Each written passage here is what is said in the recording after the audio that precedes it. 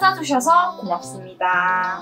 지역별 가장 높은 건물 베스트 17 어떤 것들이 있는지 영상을 통해 꼭 확인해보세요. 채널 고정!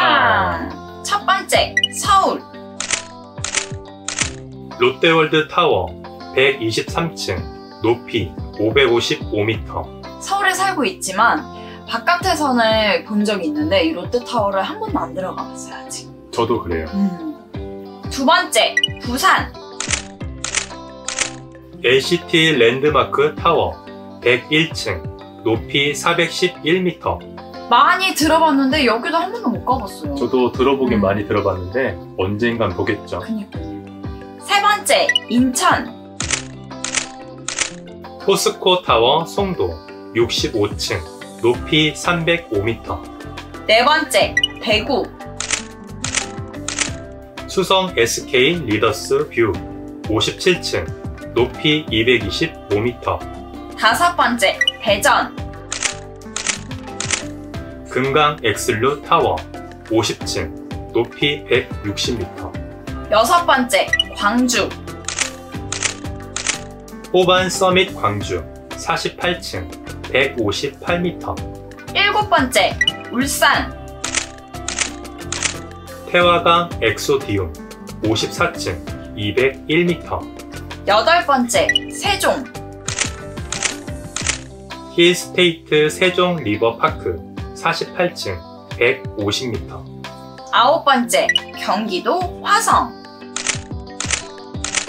메타폴리스 66층 249m 열 번째 강원도 원주 건강보험 심사평가원 본원 27층 126m 열한 번째 충청남도 천안.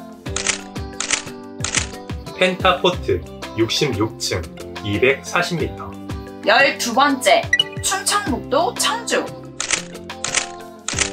청주 지웨시티 푸르지오 49층 158m 열세 번째 경상북도 김천 한국전력기술 본관동 38층 141m 열네 번째 경상남도 창원. 창원 메트로시티 2단지 55층 195m 열다섯 번째 전라북도 전주. 전북 혁신도시 대방 DMCT 45층 161m 열여섯 번째 전라남도 나주 한국전력공사 본사 31층 154m 열일곱 번째 제주도 제주 드림타워 38층 165m 이 중에 한 군데도 못 가봤는데 그 중에 제주도 드림타워 거기를 꼭 가보고 싶어요. 이유가 있어요? 그냥 제주도니까요. 어. 제주도 있으면 뭔들.